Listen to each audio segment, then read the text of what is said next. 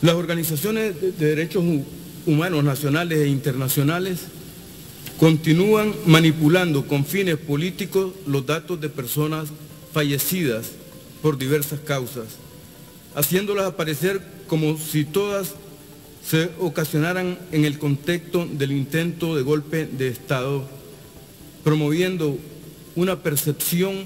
de mayor inestabilidad e inseguridad en perjuicio de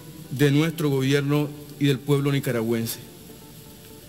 El objetivo de esta conferencia de prensa es dar a conocer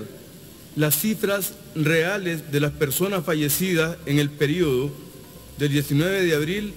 al 25 de julio del año 2018. En este lapso tenemos que hacer una clara distinción entre los 197 fallecidos en el contexto del intento del golpe de Estado y 253 fallecidos